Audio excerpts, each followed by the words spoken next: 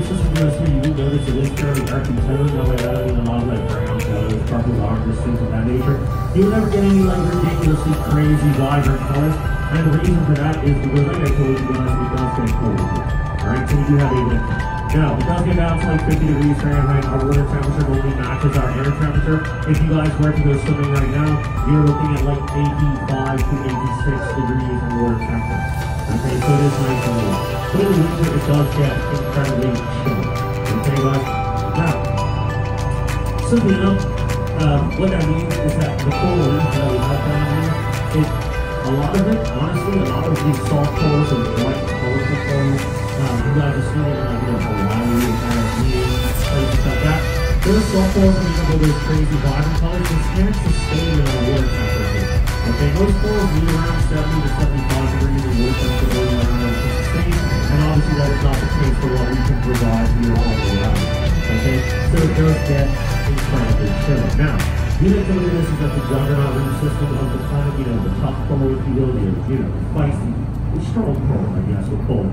So, something it tends to be our, palette here, our color palette to be like, you know, browns, purples, oranges, yellows, things of that they don't get any crazy like reds, blues, and greens, and green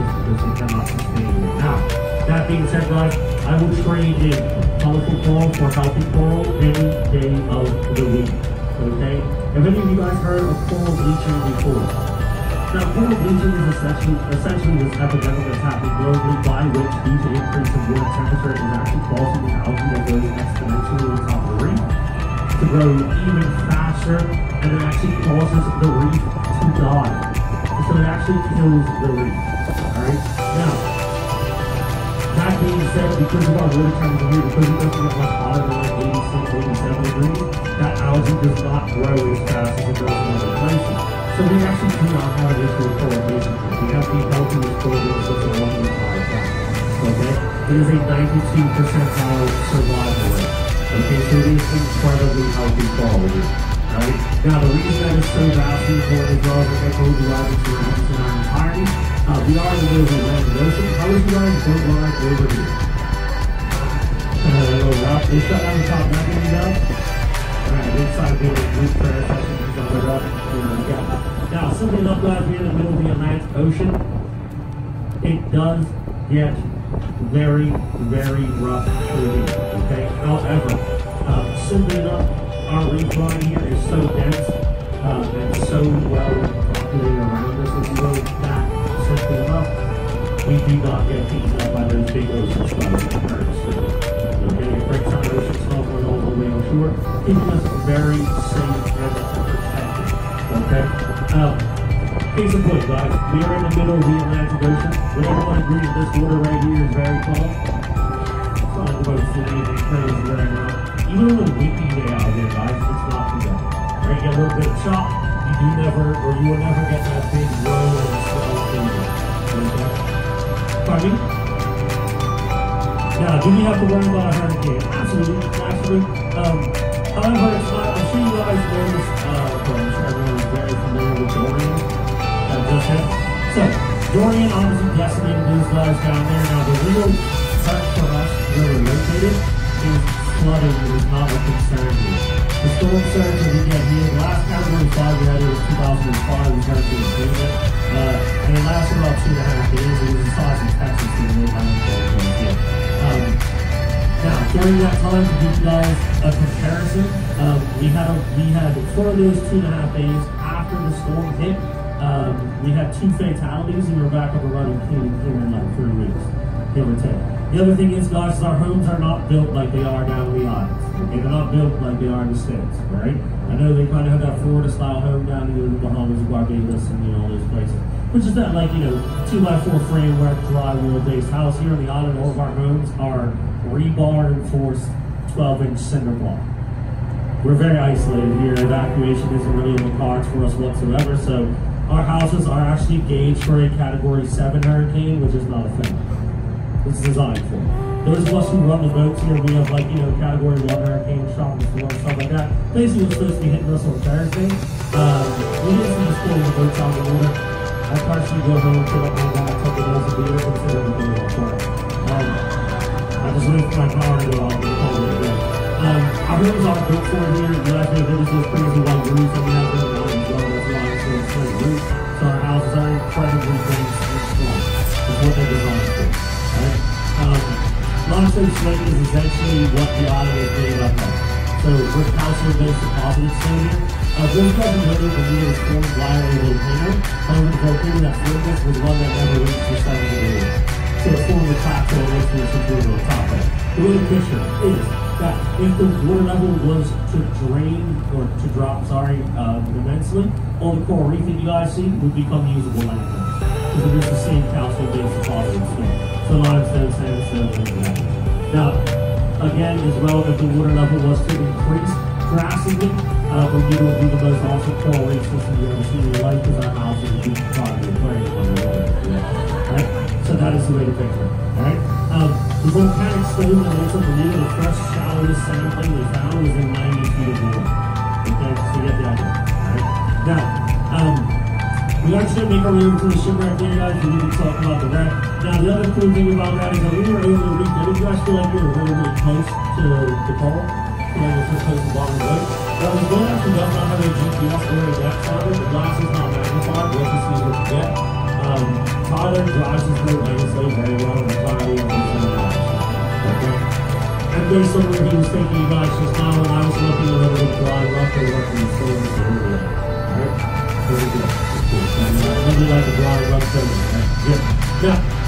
so we're not starting towards the record. I a little bit about that as well. But as far as we have been right now, everyone's been with me the time was like 15 minutes. How guys feeling? Not too bad. We want to do. Does anybody want to go of anyone? It's all easy in the right time, right? Alright? That's fine. Just thought I'd ask. Okay? Now, so, as far as the wreck goes, I'll give you guys a history spiel of it, and then uh, as we slide over and once we get up there as well, we're going to run on top, and I will illuminate the front back for you guys as well. But do the history, obviously, just to cover it. Um, now, the shipwreck is the HMS Vixen. Okay? Now, HMS, does anyone know what that means? Perfect. Majesty, yeah. So how many people would Majesty started from this case from Majesty ship? Okay, but what that means is that it was a part of the British military. Now, the HMS Vixen was a very interesting ship. Uh, it was actually built and designed as a landing vessel. Okay, now it was built in 1861 in Liverpool. Okay, that was shut off the docks there, and essentially it was supposed to be coming up here to crash into uh, enemy boats. Now, the dial on the wreck is directly in front of us. I just watched this drawing, so it's really well, so the of it uh, flip on. So, as we saw around here, the front half of the wreck is going to be with the end of the tire framework. It's going to be the down set side windows. That is in front? So, we're going to over here, guys. Uh, again, we will put the spotlight on the truck here that sticks out of the. Um, and I will just ask you guys, those sets of windows and get to see the wreck. Do not run from one side of the to the other as a group. Okay, that's a great way to make sure that you guys can get a lot closer to than you wanted to. Alright? Now, the ship out here is called the HMS Vixen. Like I said, it was a ship. It was made entirely of cast iron, and it was heavily fortified in team plants. Now, a lot of cast iron, a lot of teeth meant this boat was incredibly heavy. Incredibly heavy translates into incredibly slow, right? Now, no one's on board this guy. He's just trying to ram his engines, right? Now, essentially, they realized it wasn't going to be able to catch anything because as you guys can imagine, this boat can only do about 8 to 10 knots, boats back then would about 13 or 14. Trying to catch something that is significantly faster than you, probably not going to go that well, right?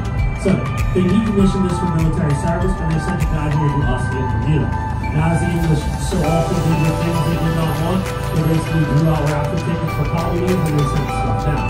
Now, when we had this ship down here, um, we actually stationed it out in the Dockyard. So if you guys look on our right-hand side of our vessel out there, you guys see the top of the cruise ships out there in the distance there, kind of where lit. So that is guys. That's where the Western receiving. Now, for the better part, the better part of 80 years, Dockyard was the largest English military base outside of England.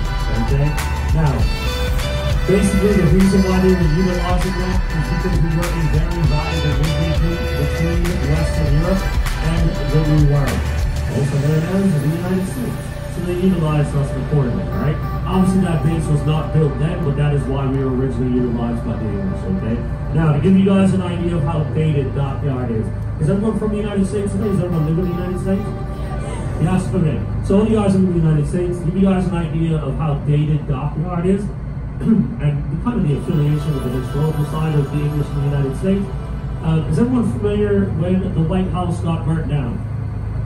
Yes, everyone knows about the White House being burnt down. The fleet of ships that went to do it, the fleet of English, left from Dockyard.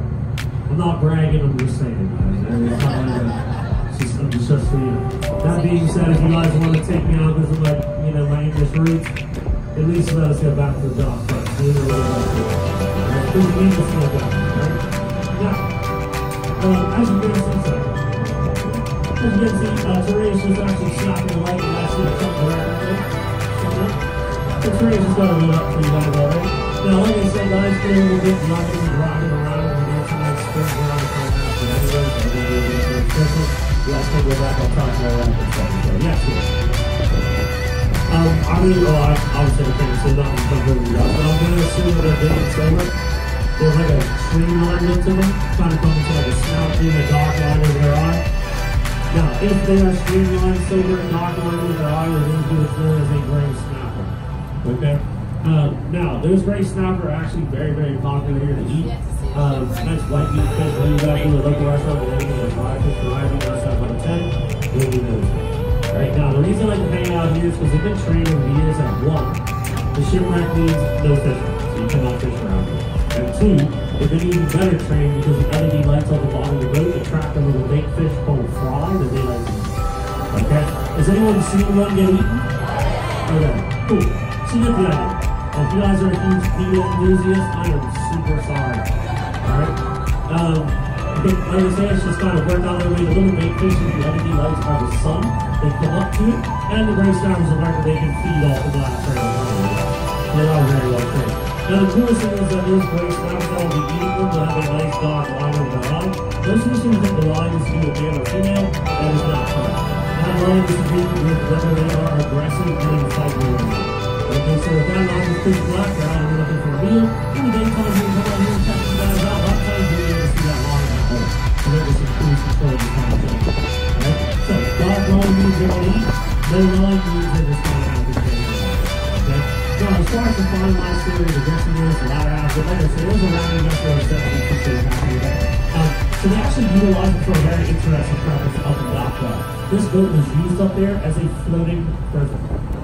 Um, do any of you guys have any Irish heritage?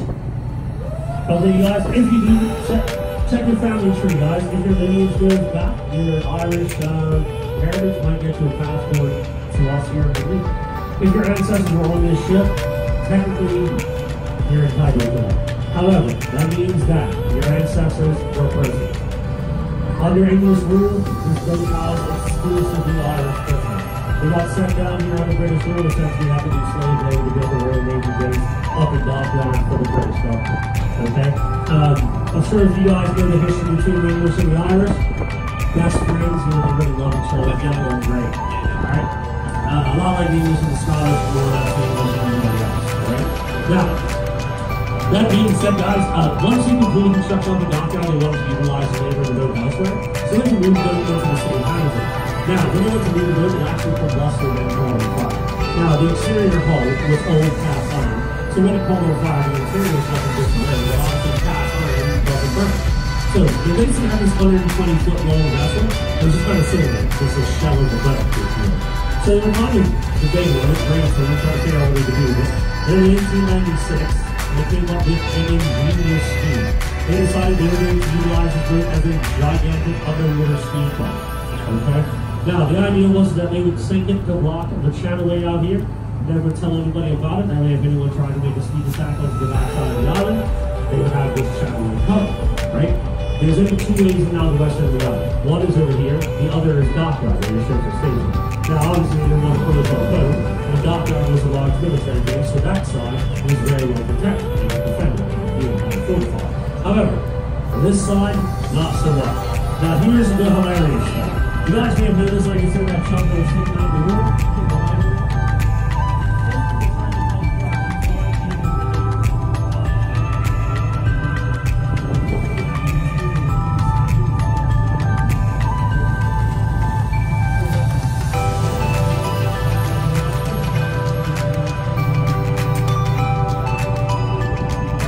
Um, if you guys look into our firearm rolls here, you got caught with five rounds of ammunition not gun, not gun, literally protections.